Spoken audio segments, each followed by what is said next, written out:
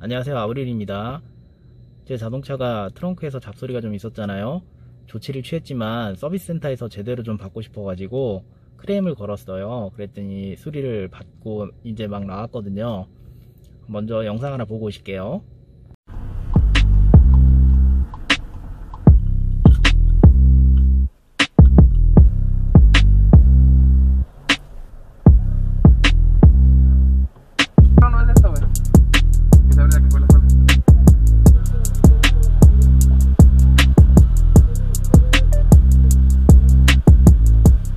트렁크 잡소리 나는 거 AS 받았거든요. 어, AS를 어떻게 했는지 좀 볼게요.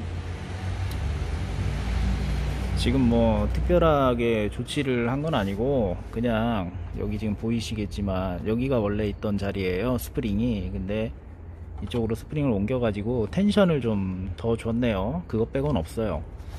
그러면 이게 tension을 조정하기 위해서 만들어 놓은 곳이 맞긴 한데 이게 이 트렁크가 열릴 때 부드럽게 열리게 하기 위해서 만들어 놓은 것인데 지금 단순히 그냥 여기에 있는 걸 이쪽으로 옮겨 놨습니다.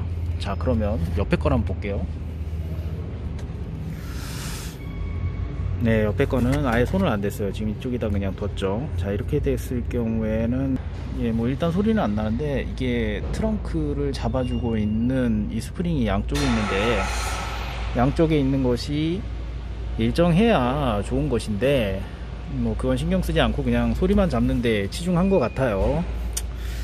네 그래서 어떻게 해야지 저도 고민입니다.